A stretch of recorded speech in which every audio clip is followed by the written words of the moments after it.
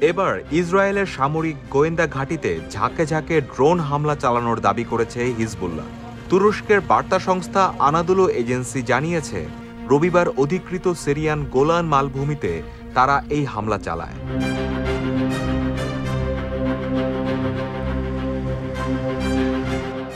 এক বিবৃতিতে সংগঠনটি দাবি করেছে, এই হামলায় গোয়েন্দা কাজে ব্যবহৃত সরঞ্জাম সহ ব্যাপক ক্ষয়ক্ষতি হয়েছে ইসরায়েলি সামরিক ঘাঁটির।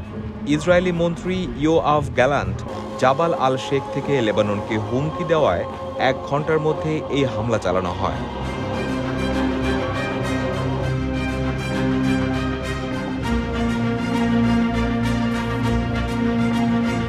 হিজবুল্লার বিবৃতিতে বলা হয়, বিস্ফোরক ভর্তি ড্রোনগুলো ইসরায়েলের গোয়েন্দা ঘাঁটির গম্বুজ, গোয়েন্দা সরঞ্জামগুলোর উপর আছড়ে পড়ে এবং আগুন লেগে যায়।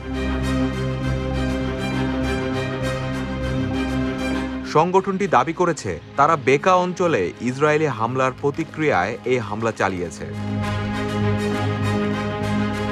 এর আগে ইসরায়েলি ড্রোন হামলায় লেবাননের পূর্ব বেকা অঞ্চলে একজন হিজবুল্লাহ সদস্য নিহত হয়।